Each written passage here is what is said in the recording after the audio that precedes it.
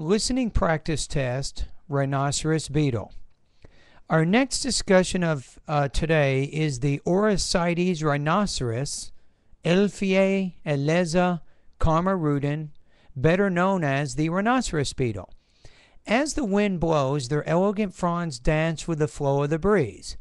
Coconut trees possess the mystical ability to conjure up a tropical paradise atmosphere wherever they may be found. However, like all other kinds of vegetation, coconut trees are susceptible to insect attacks.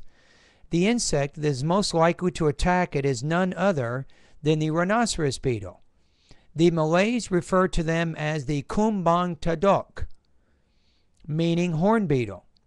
Only the male rhinoceros beetle has the distinctive horns that give this intriguing creature its name.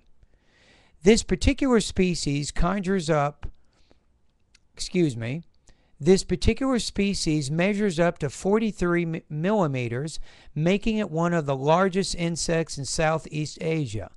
However, it cannot be compared with its counterparts, the Goliath and Her Hercules beetles from tropical America and Africa, respectively, which can measure up, can you believe this, to an amazing 155 millimeters.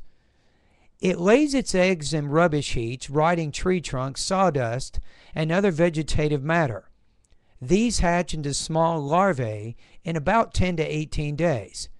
The younger larvae feed on decaying wood and vegetative matter and can grow to lengths of about 60 millimeters or more. During this stage, they do not damage the plants. The larval stage lasts from 2.5 to 7 months after which pupation takes place within the breeding site. The pupae will require another 1.5 to 2 months before it transforms into an adult and becomes a threat to the palm trees. They enter the heart of the palms and feed on the tender tissues within.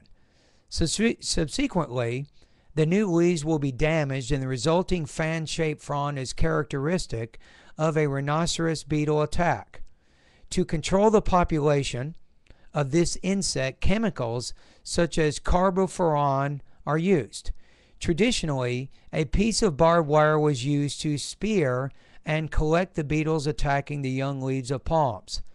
So the next time you see your palm fronds bearing the rhinoceros beetle's characteristic signature, stop. Take a look around. There may be a new bug in town.